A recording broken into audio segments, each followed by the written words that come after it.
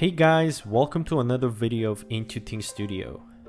When you're building a software application or a service, I'm sure you've heard of these big words. Everyone talks about it. Scalability, maintainability, and reliability. Everyone just throw these words at each other without really knowing what individual terms actually mean. Today, we'll tackle what reliability really means in depth so you don't freeze when the interviewer asks you questions something like, so, how do you make a reliable application? Let's start by looking at some examples of unreliable services. Netflix not working when you want to watch a movie or a TV show, Uber not working correctly when you need to request a ride. Unreliable services yield bad user experience, and sometimes it can even lead to mad user experience as well. So, what are some typical expectations of reliable services? Here are some examples. Performs the function that the user expects, tolerates the user making mistakes or using the software in unexpected ways, provide good performance under the expected load and data volume, prevents any unauthorized access or abuse. It basically means that the service or application should continue to work correctly, even when things go wrong. So, what can go wrong? The things that can go wrong are called faults, and there are mainly three different types of faults hardware faults, software faults, and human faults. Let's start with the hardware faults. We usually think of hardware faults as being random and independent from each other. One machine's disk failing does not imply that another machine's disk is going to fail. Here are different types of hardware faults. RAM can become faulty, someone can unplug the wrong network cable, and you can simply have a power grid blackout. Interesting fact, hard disks are reported as having a mean time to failure of about 10 to 50 years, Thus, on a storage cluster with 100,000 disks, we should expect on average 10 disks to die per day. Anyone who has worked with large data centers can tell you that these things happen all the time when you have a lot of machines.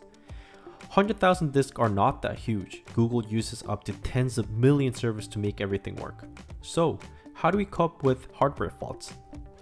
Our first response is usually to add redundancy to the individual hardware components in order to reduce the failure rate of the system.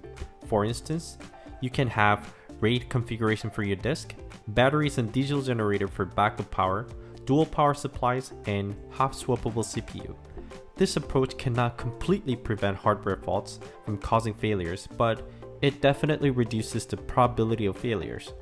However, as the data volume have increased significantly, more applications have begun using larger number of machines, which proportionally increases the rate of hardware faults. Hence, the industry started using software fault tolerant techniques in preference or in addition to hardware redundancy. Let's look at the software faults next. Software faults are generally harder to anticipate and it can cause broader damage to the overall system or application because they are correlated across nodes. Here are different types of software faults a software bug that causes by a particular bad input, cascading failures where a small fault in one component triggers a fault in another component, a software bug that corrupts shared resources, a service slows down for some reason and becomes unresponsive. Most of these bugs are created when programmers make some kind of assumptions about the software environment and it suddenly stops being true for some reason. So, how do we cope with software faults? There's no quick solution to such a problem. Lots of small things can help. Carefully thinking about assumptions and interactions, thorough testing, process isolation, monitoring, and alerts. Next one is human faults.